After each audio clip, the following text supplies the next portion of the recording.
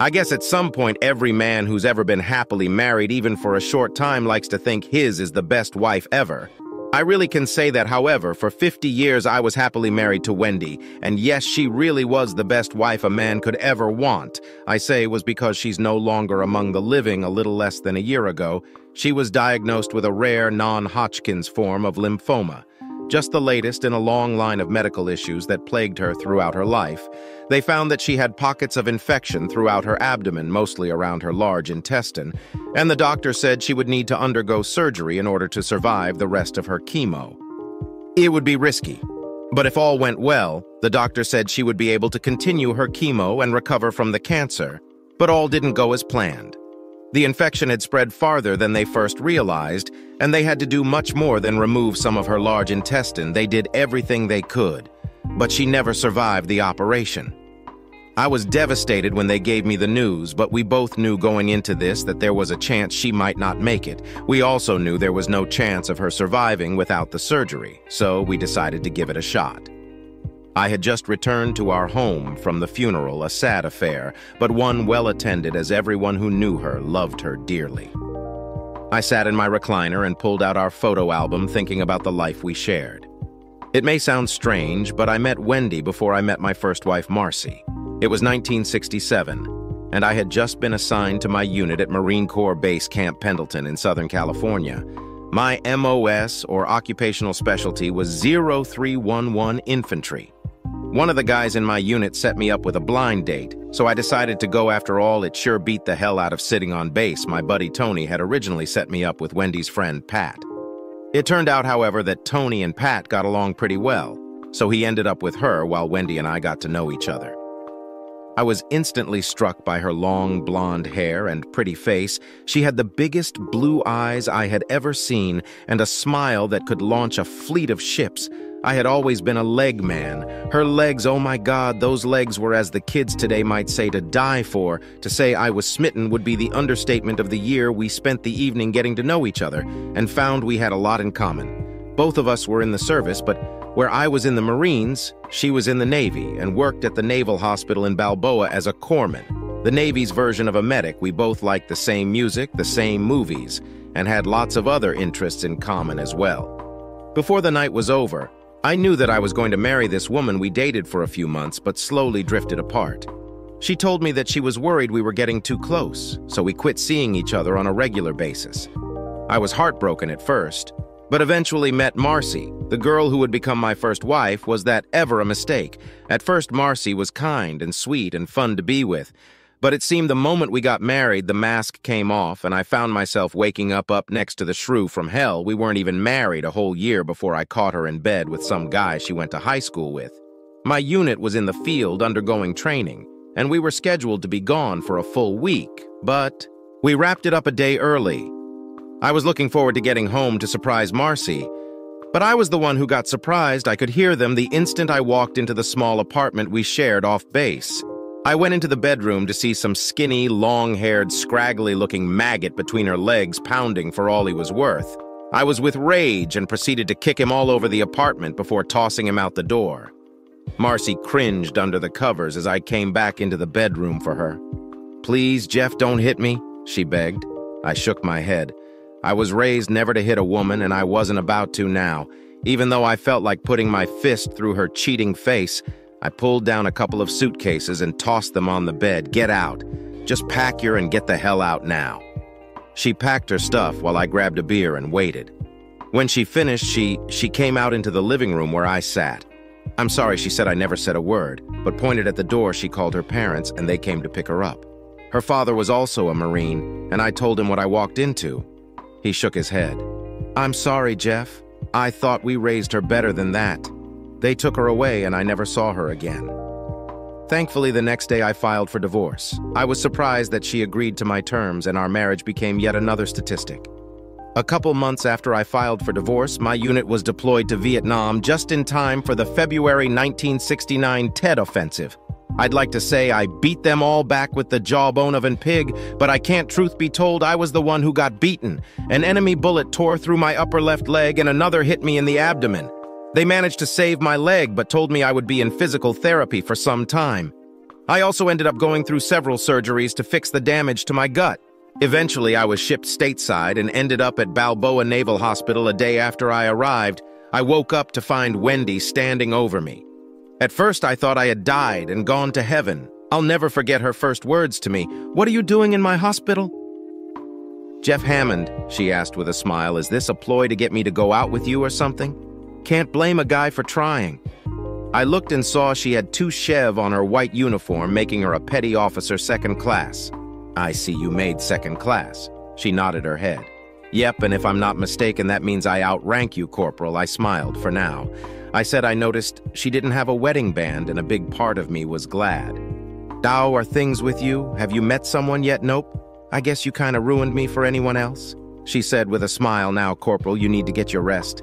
I hear they're going to start your physical therapy before too long. Will I see you again? I asked.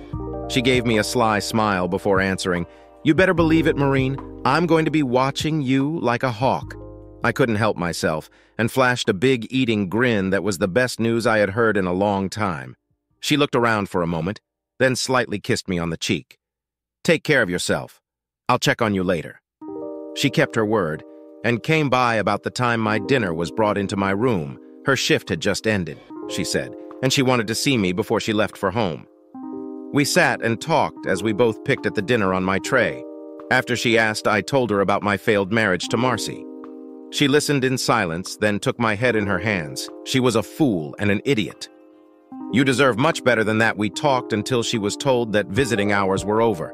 I stopped her before she left the room. You know, I thought about you an awful lot over there in N. I said she looked at me for a moment, sadness on her face. I've thought about you almost non-stop since our last date. Maybe if I hadn't pushed you away, she began. Before her eyes filled with tears, wiping her eyes, she ran out of the room. What was that all about? I wondered. Surely she didn't blame herself for me being wounded. I saw a lot of her for the next six months. She came by my room at least. Twice a day to check up on me, even on the days she was off duty, many was the time she would take outside in a wheelchair so I could enjoy a smoke. We spent hours talking about one thing or another. When she was off duty, she would wear her shorts, knowing how much I enjoyed looking at her legs as time went on. I knew I was in love with her, and there was no denying it. I could tell she felt the same way, but something was holding her back. I decided to press the issue one day while we were outside. I told her how I felt. Tears filled her eyes as she spoke. Oh, Jeff, I love you too. Then let'n get married. I said she looked down for a moment before saying anything, but you don't understand. Understand what my love is there. Someone else. She shook her head no. There never has been. I don't understand. I can't have children. She explained that she was diagnosed with Turner syndrome, a condition I later learned affects about 1 in 2,000 women born in the United States. This explained her relatively short stature, and she said affected her ovaries, meaning she could never conceive a child worse yet. She said there's no cure. I could tell this bothered her, but I reassured her that my love for her wasn't based on any ability to have children. She cried as I held her tight, but you deserve a complete woman, someone who can give you children. She said, I held her face in my hands and looked her in the eyes. You are a complete woman. When the time comes, we can adopt. There's lots kids out there who needs a good mother. Hey, look at me. I was adopted and I turned out all right. She smiled seriously. You were adopted.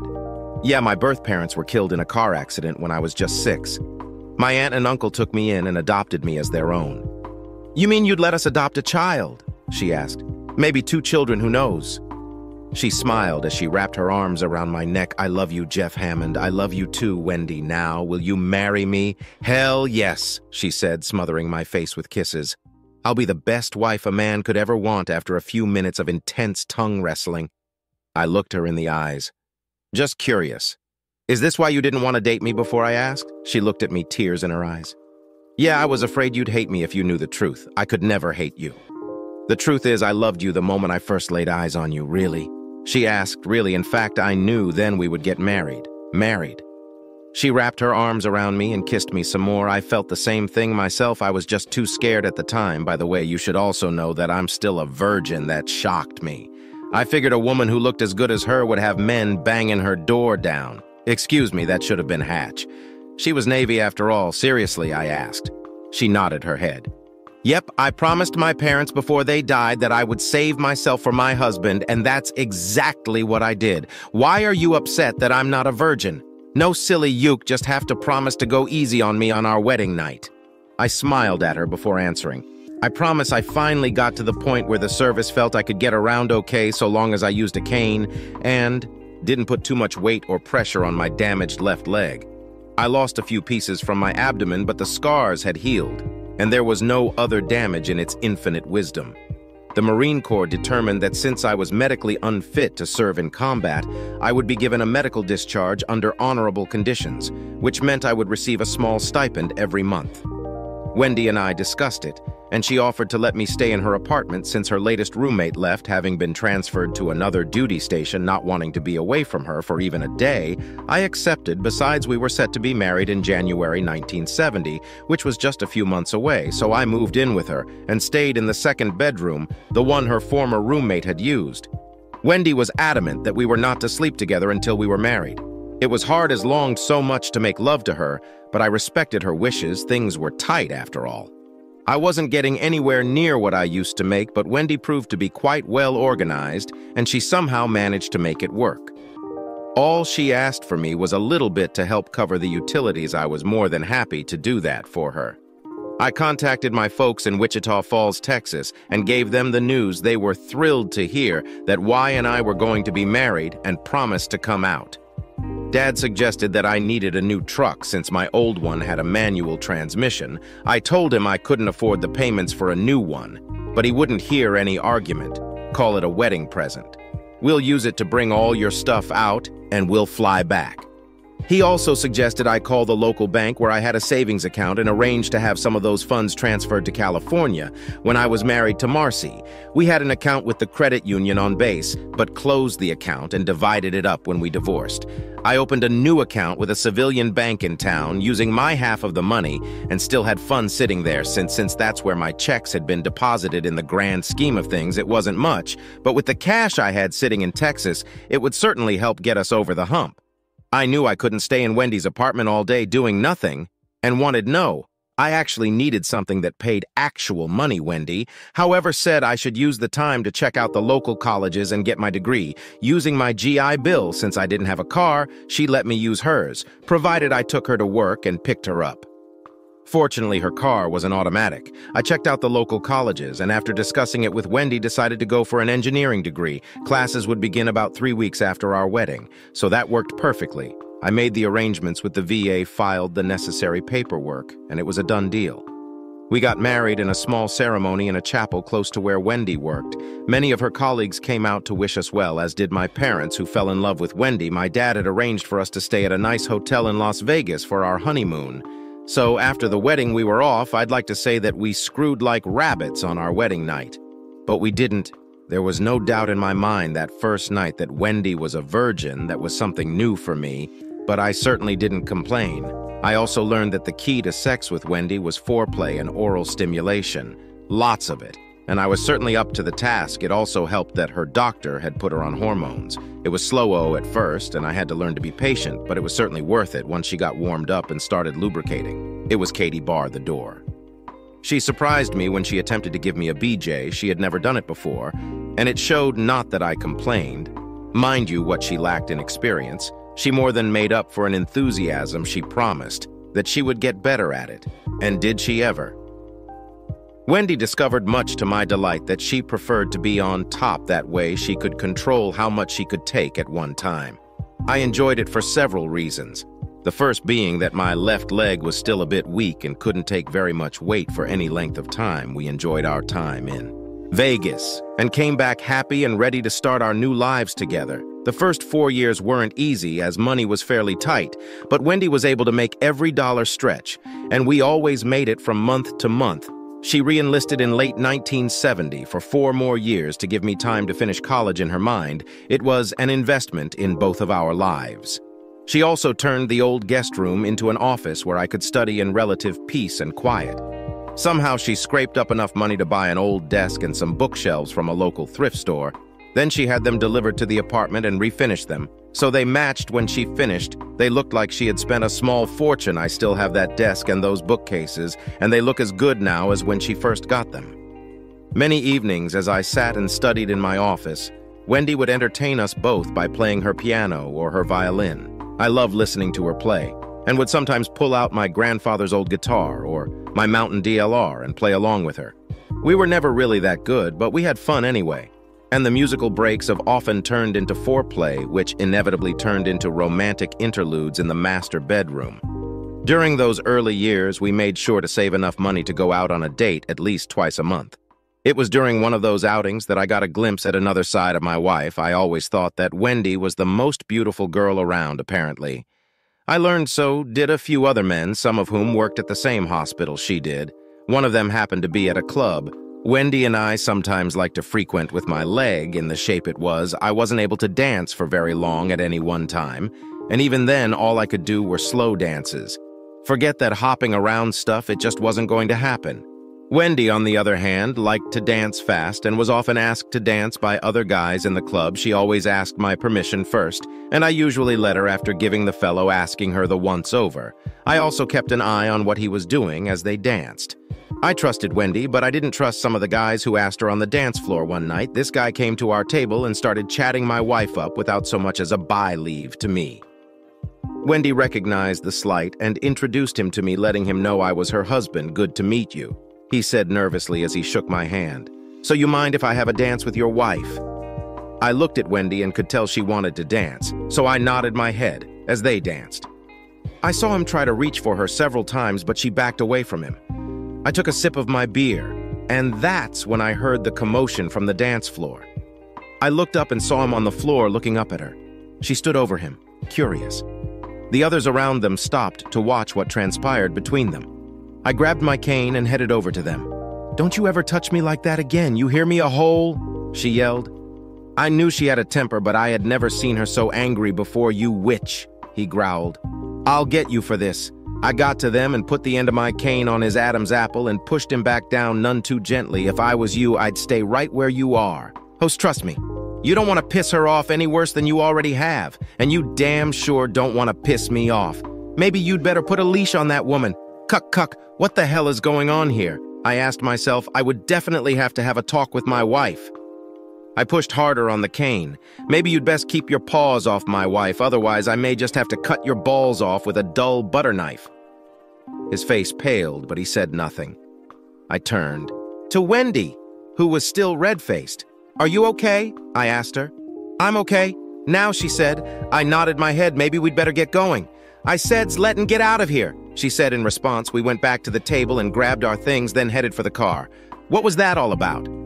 I asked her when we got in the car. I'm sorry he works at the hospital. I dated him a couple times before we got together, and I guess he thought that gave him a right to move in on me. What happened out there on the dance floor, I asked. He put his hand on my hips so I kneed him in the balls. It's a move I learned from an old Master Chief years ago. Well, it was a good move. Move kneeing him in the balls. What did he mean by calling me a cuck, by the way? He's an a-hole who thinks he's God's gift to women. That's the way he talks to any man who's with a woman he wants. I've never cheated on you, and I never will, surely. You know that. Okay, case closed. Good move. By the way, the truth is, I knew she was right. I remember seeing him around the hospital and saw the way he interacted with other women. I was frankly surprised he hadn't gotten his, but kicked for the way he came on to the married nurses. I also knew Wendy's reputation at the hospital, if there was ever a straight shooter she was. It, I like the way you handled that cane, putting it on his throat like that. Would you really have cut his balls off? She asked. I laughed. You really don't want to know, do you? I asked it was her turn to laugh, not really, but it's good to know you're there to defend me. Now please take me home and make love to me. Yes, ma'am, I said, heading for the house. I graduated with my bachelor's degree in 1974, and Wendy was there to cheer me on when I got my diploma. I got a job with a local aerospace company and still work there, but I intend to retire very soon. Let me tell you, it felt so good to finally contribute something to our finances. Wendy had always been so supportive of me that I wanted to do something special for her especially since her birthday was coming up, so I took the sign-on bonus I received along with the rest of the savings I had in Texas and booked a five-day reservation in Hawaii. Her eyes opened wide when I showed her the tickets she she took leave from work, and off we went on the flight over. She surprised me when she leaned over and whispered in my ear, When we get to the hotel, I'm going to blow your mind off, true to her word. She wasted no time slipping her dress off when we got to our room. She looked so gorgeous. Standing there in front of the window, naked, she guided me to the bed, undressed me, then gave me a mind-blowing BJ. She had definitely gotten much better at this over the years. I'm just getting started with you, Mr. Hammond, she said in a voice that held lots of promise we started making love. Do me, she moaned. Keep doing me, my husband, don't ever stop. Who was I to argue? This feels so good. She whispered in my ear. I couldn't remember her being so excited before, and I was determined to savor it as long as possible. This went on for what seemed like forever after we were both spent. She rolled off of me and laid on the bed. Who was this woman, and what did she do with my wife? I asked myself, who cares? I thought answering my own question, whatever happened. I was enjoying this little show she was putting on after a bit. She giggled like a naughty girl and looked at me with mischief in her eyes. Except for dinner, we stayed naked and made love to each other for most of the night, finally falling asleep in each other's arms early in the morning. We enjoyed the rest of the week and even made love on a secluded beach in broad daylight. Eventually, all good things must come to an end, and this vacation had to as well. We flew back home, rested and rejuvenated. We hated leaving Haw Hawaii, though, and promised we would do it again someday. Later that year, Wendy decided to go into the Naval Reserves when her enlistment ended. By then, she had been promoted to petty officer first class and didn't want to see her eight years go to waste. She had been offered a job at Scripps Memorial Hospital, so she took it six months later. We decided it was time to buy a house, so we found one we both liked, a two-story, four-bedroom house that had everything we both wanted. The stairs were something of a challenge for me. But since Wendy loved the place so much, I decided that would be a minor inconvenience. It was about six months after that we started talking about adopting a child. We made inquiries and spoke with several agencies that introduced us to the process and showed us photos of children waiting for adoption. It was so difficult seeing these children waiting for someone to take them in. We instantly fell in love with a set of eight-month-old twins, Michael and Michelle, who were currently in a foster home along with several other children. We started the process and jumped through all the hoops and finally became the official parents of Michael and Michelle, two lovely children who stole our hearts the day we first met them. Wendy was scared at first, but she took right to her new role as mother. As for me, I was over the tube happy. I had two beautiful children and a happy wife. What was there not to be happy about? Oh, sure, we had to adjust our lives to accommodate the children, but then, again, so does every new parent. We had to adjust our schedule a bit to accommodate the children, and we didn't want them in daycare. So we looked at our budget and found that we could afford a part-time nanny to stay with them when we had to be at work.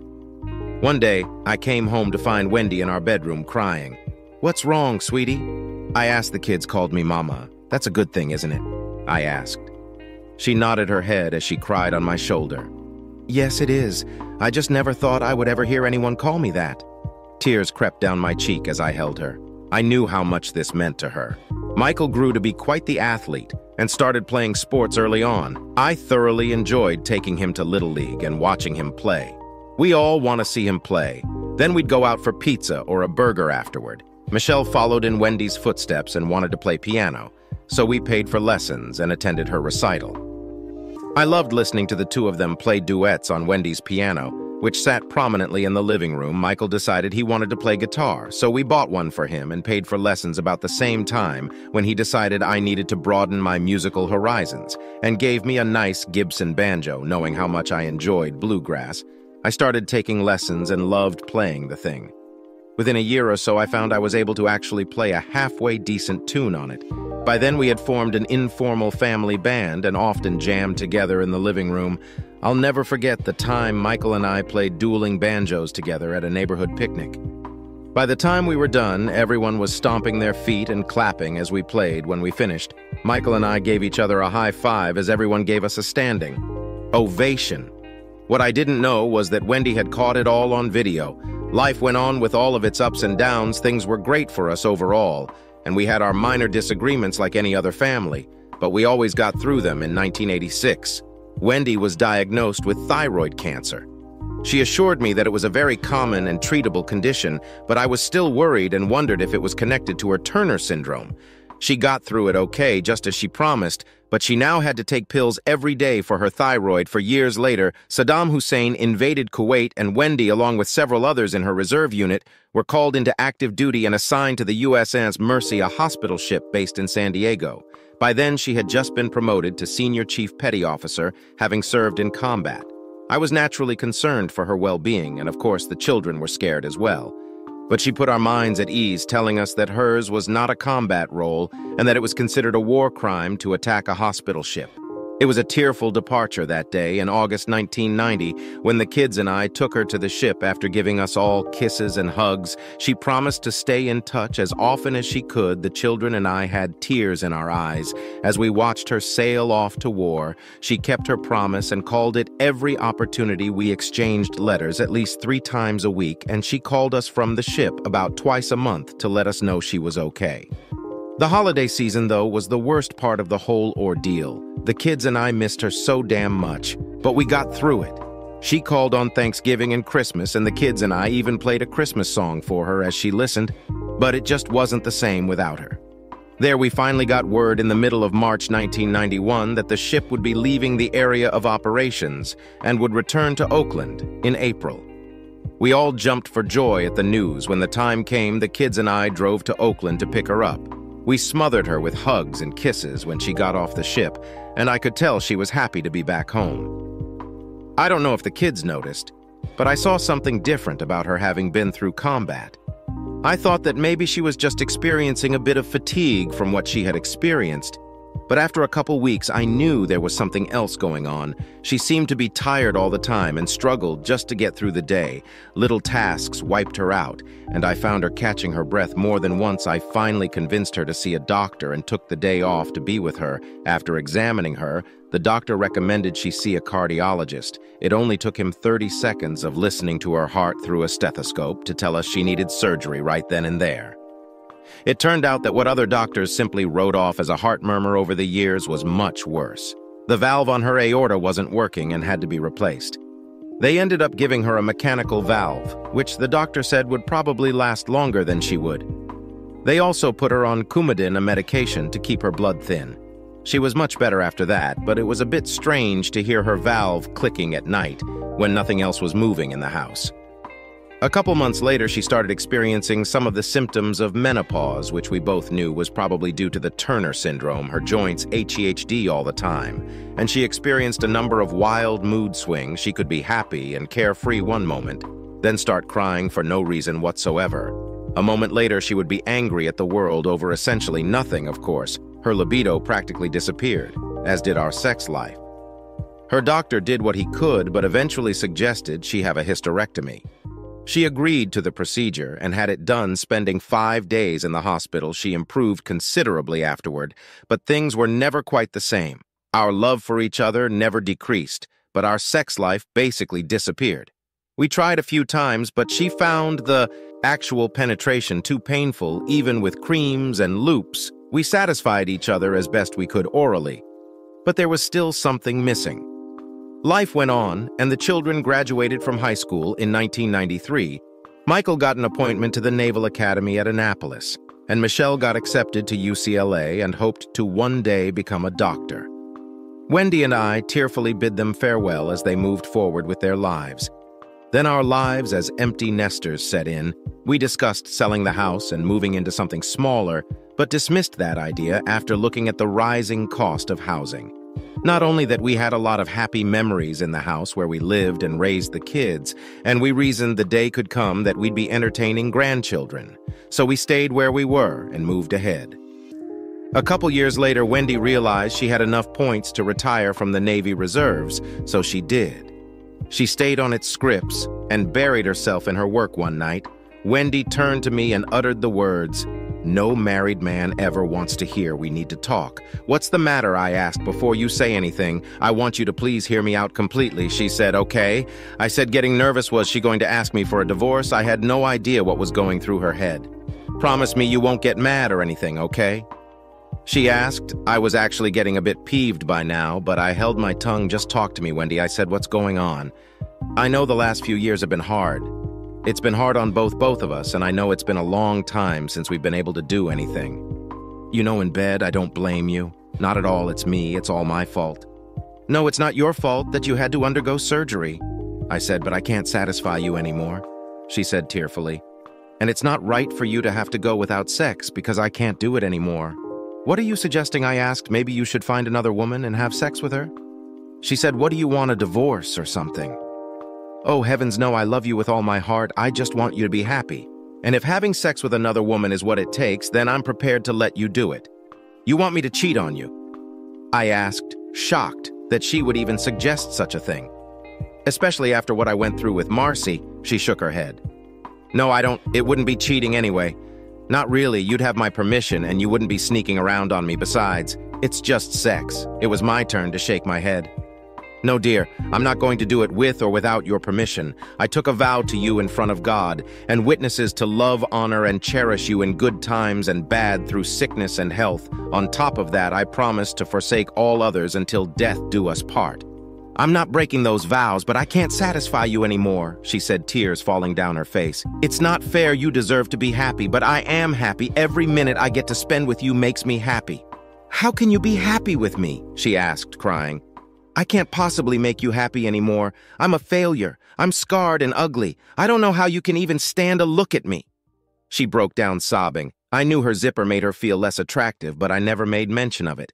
I held her close to me and rocked her as she cried on my shoulder. You're not a failure, and you're certainly not ugly. You're the most beautiful woman I've ever known, and I'll be happy to compare scars with you. I don't ever want to hear you say that again. You've made me the happiest man in the world, and you raised two wonderful children, all while working and serving your country. You're the best wife and mother any man could ever hope for. Don't ever tell me that you're a failure because you're not. Believe me, I know plenty of women who couldn't hold a candle to you. I'm sorry. I just want you to be happy. You deserve that, and you do. Make me happy. Listen, let's make an appointment with the doctor and see what can be done. Okay, I don't want to see another doctor, and I'm tired of taking pills. I could relate to that, I understand, Stand. But it won't hurt to find out. Please call the doctor tomorrow and make the appointment. Promise me. She nodded her head, okay, I will. She called the next day and made an appointment for later that week. I took a comp day off and went with her. The doctor and I both listened as she explained what was going on. He took notes as she talked and waited for her to finish. Then he consulted her chart before speaking. I see you were on hormones before your hysterectomy. Are you still taking those? Wendy shook her head. They took me off of them and said I wouldn't need them anymore. She said. He nodded his head. I see it's also been a while since we've checked your thyroid, Letton. Get some blood work done and see what we're dealing with first given your history. I also want to check your glucose level. My office will be in touch in a day or two, and we'll go from there. Okay, okay, she said. After the doctor left, a nurse came into the room and took a few vials of blood we left and went home after stopping for a quick bite to eat a couple days later. The doctor's office called. Some of her levels were off, including her thyroid so the doctor called in a new prescription. He also found her glucose levels were elevated and determined that she was diabetic, but not so bad that she required medication. His plan was to see if it could be managed through diet that didn't surprise me.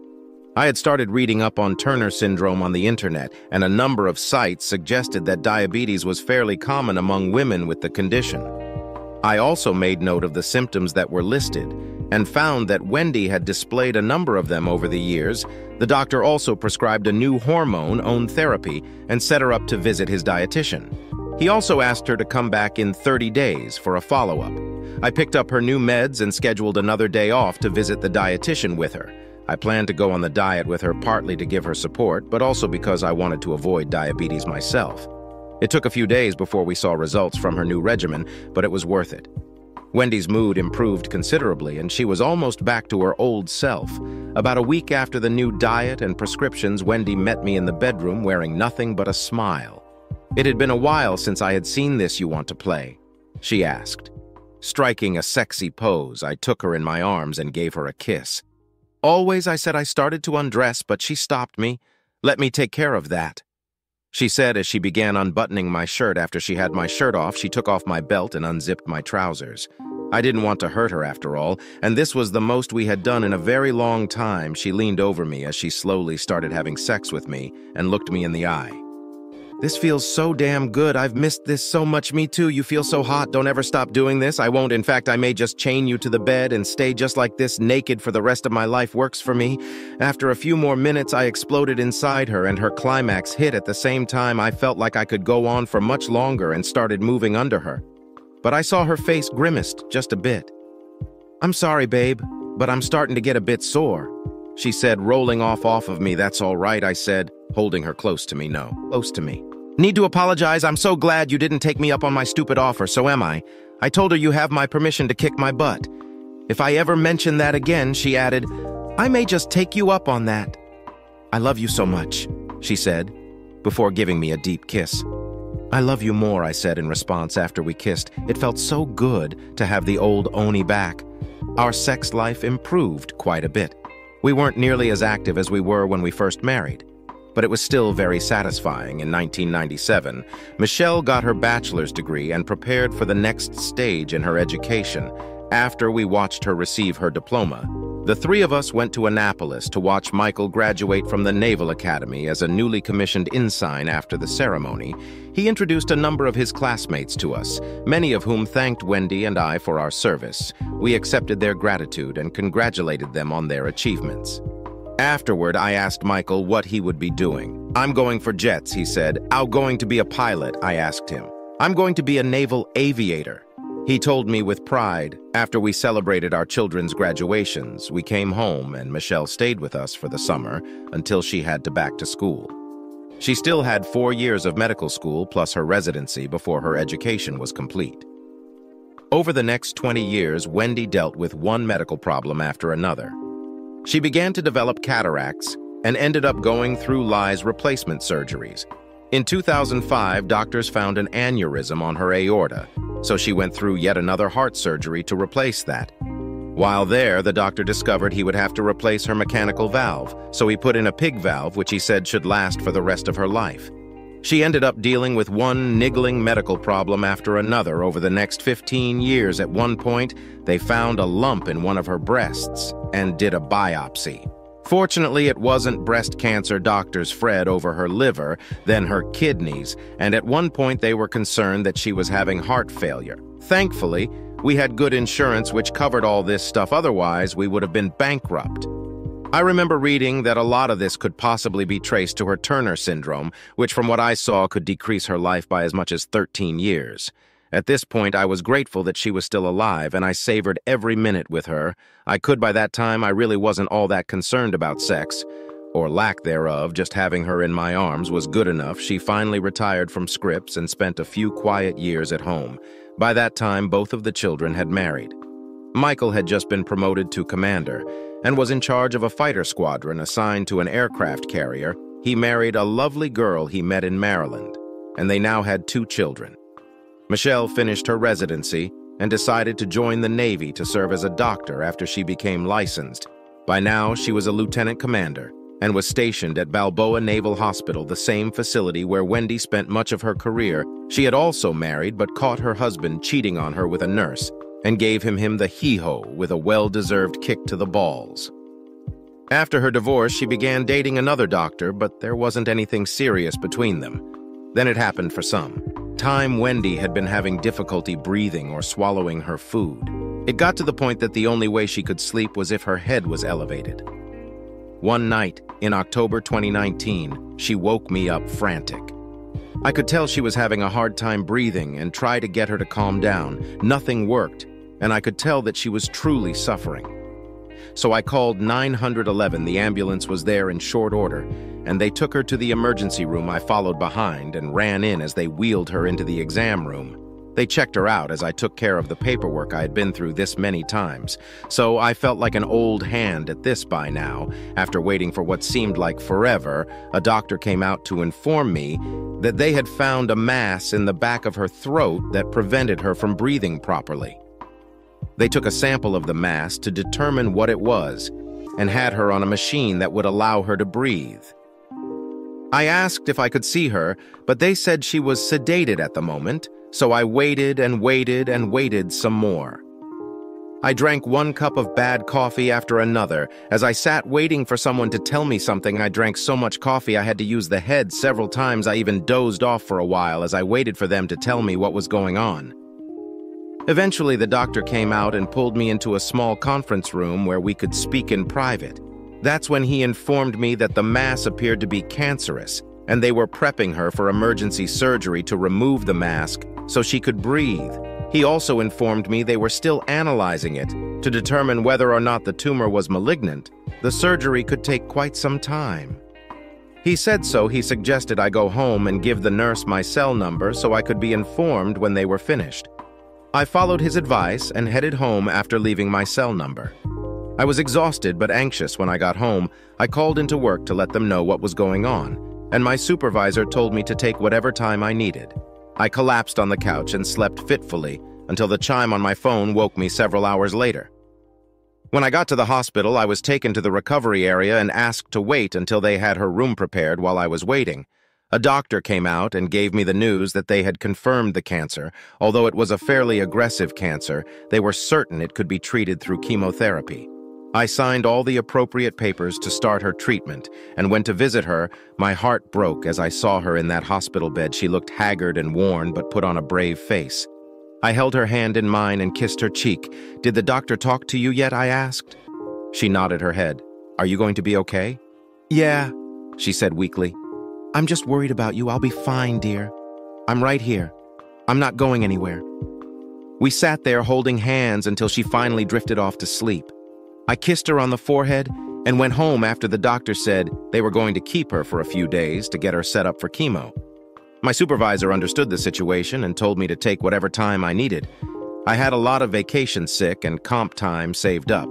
So I took it and made the necessary changes in the house so she wouldn't have to navigate the stairs. In her weekend condition, the next three months were rough.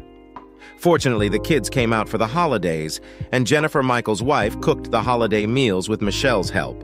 By this time, Michael was a captain in the Navy and commanded a carrier air group. He took enough leave so they could spend Thanksgiving and Christmas with us. Wendy and I spent as much time as we could with the grandkids. It was just after Christmas when the doctors discovered her infections. They immediately stopped the chemo until they had settled on a plan of action. You know, the rest, the children, were an absolute godsend. They helped me arrange the funeral and deal with Wendy's final arrangements. We all cried on each other's shoulders during this time. It was two months after the funeral when I finally decided to tackle the last of Wendy's things by then. Almost everything else had either been given away as she wished or donated to Goodwill with everyone locked down due to this damn coronavirus thing. I figured this was just as good a time as any to get to it. I went into the bedroom and looked at the large hope chest that ran the width of our bed. I had made it for her 45 years ago when we first moved into the house using the table saw and router she had given to me as a house swarming present. Until now, I had never opened the thing, so I had no idea what she kept in it. I remember asking her what she used it for, and she would simply give me a sweet smile and say it was a place for her best memories, whatever that meant.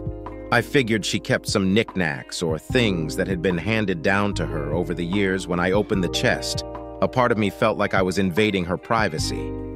I looked inside, wondering what I would find there was an envelope sitting on top addressed to me. I set that aside for a moment and went through what she had placed in the chest. I found several notebooks and opened them up. Wendy had kept every picture the children and grandchildren had ever drawn and had inserted them neatly into sheet protectors on top of that. She had kept every card, letter, and note she had ever received from us. There were several bundles of letters and cards from the three of us, and I found that she had kept every note I had given her over the years. She even kept locks of hair from the children that she had collected over the years. I also found a stack of videos she had made of the family including a tape of the barbecue where Michael and I played dueling banjos, I decided I would make copies of them for the kids. I opened the letter and pulled out a handwritten note. I could tell this was fairly recent, as her handwriting wasn't as neat as it used to be. My darling Jeff, it began. I don't know if I'm going to survive this operation or not, so I wanted to get this off my chest while I still can over the last 50 years. You have made me the happiest woman on earth and I only hope and pray that I have made you happy as well. Please don't cry for me. I've made my peace with God, and I'm prepared to meet my Maker with a clear conscience in the 50 years we've been together. You're the only man I have ever been with. And I know you've been faithful as well. I also know that you still have needs. So please find someone who will make you happy in your old age. Just promise that you'll remember me from time to time, okay? I'll be here in heaven waiting for the day when we're reunited forever. Your loving wife, Wendy? The note said in conclusion. Tears ran down my face as I read that note three times, knowing it would be the last note from her I would ever read. I put the note back in the envelope and replaced it in the chest along with her memories. I closed the chest and decided to keep it closed and locked from that time forward. I looked up at the ceiling, wondering if she could see me. I love you, Wendy. I whispered into the room, and I always will. You are the best wife ever, and no one could ever replace you.